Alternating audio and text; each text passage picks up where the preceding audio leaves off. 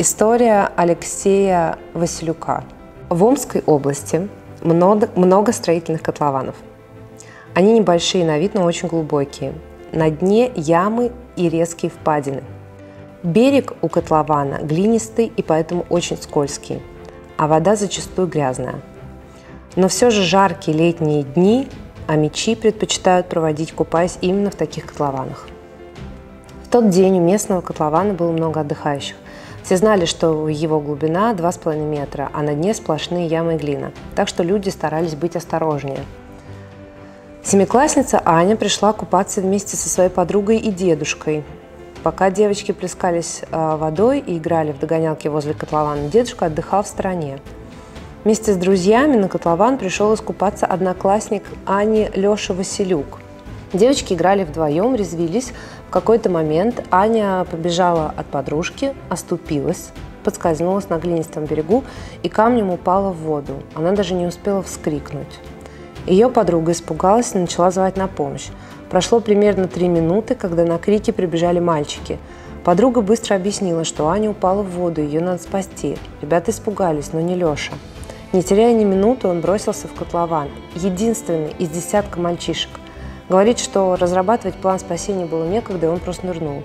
Выбраться из глинистой ямы ловушки даже взрослому человеку, не умеющему плавать, вряд ли удастся. Что говорить о подростке? Леша рассказывает. «Я плаваю хорошо, меня научили старшие друзья. Я сразу нырнул, сделал взмах и наткнулся прямо на Аню. Начал тянуть ее кверху и сам поплыл. Девочка не дышала, она пробыла под водой примерно 5 минут – Леша потащил ее к берегу. Там уже был дедушка Ани. Он помог Леше поднять девочку на поверхность и начал оказывать ей первую помощь. Леша Василюк вспоминает, он ее откачивал и откачивал. Наконец пошла пена с кровью вместе. Мы с другом думали, что она не выживет. Аня задышала, открыла глаза и начала кашлять. Ее жизни уже ничего не угрожало. Родители Ани поблагодарили Лешу за спасение дочери, назвали его поступок подвигом. Но сам мальчик героем себя не считает. А вот Аня не сомневается, что жива именно благодаря мужеству одноклассника, с которым она всю начальную школу просидела за одной партой. Девочка рассказывает. «Я сначала вообще ничего не помнила, а сейчас... И сейчас как плохо помню. Теперь осторожнее буду, это точно». Мама Леши называет его своим надежным помощником в семье. У него три младших сестренки, и он всегда помогает с домашними делами. Леша занимается хоккеем и волейболом мечтает стать военным. Юный герой уже готовится поступать в Омский кадетский корпус.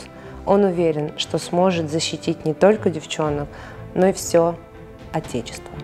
Безусловно, мир, в котором дети э, вынуждены совершать подвиги, не тот мир, в котором мне бы хотелось жить.